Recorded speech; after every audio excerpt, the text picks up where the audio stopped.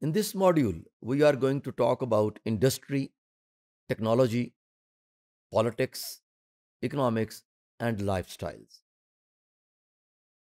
Industrialization and globalization complements each other.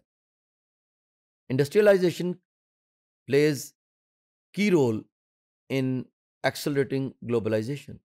Likewise, globalization contributes to expansion of industrialization, mass production, mass consumption, and capitalism in different parts of the world.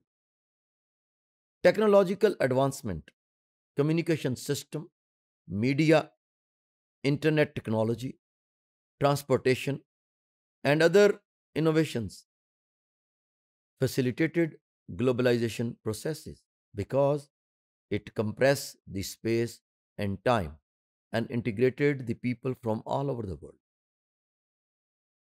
Political globalization and globalization of economy are integrated very often. Sovereignty of nation state is threatened. International organizations influence economic policies. Western hegemony in global politics. Concept of single world market. Rise of multinational corporations. But owing to all these transformations, lifestyles, and advancement, still we see that a global market is feeling some threat, some dissatisfaction out there. Mass media has greatly influenced the lifestyles of thousands of millions of people living in different parts of the world. International law is considered superior over national laws. Role of World Trade Organization regarding trade rules and laws bilateral and multilateral or multilateral cultures or conflicts are resolved through international forums. Erosion of local cultures and weak cultural identities have created global norms, mores, and traditions. Americanization refers to superiority and dominance of American culture over others flow of global norms and traditions due to increased traveling and migration.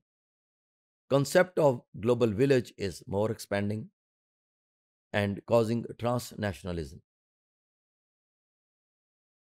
Fast food culture in the world is getting encouraged or getting more uh, success. Western dressing is adopted International business practices are adopted. Culture of multinational corporations is preferred. English as an international language is preferred. Cultural convergence is happening just to have a global market and a global society. But it is still, as I mentioned in my previous uh, slides, that still there is dissatisfaction.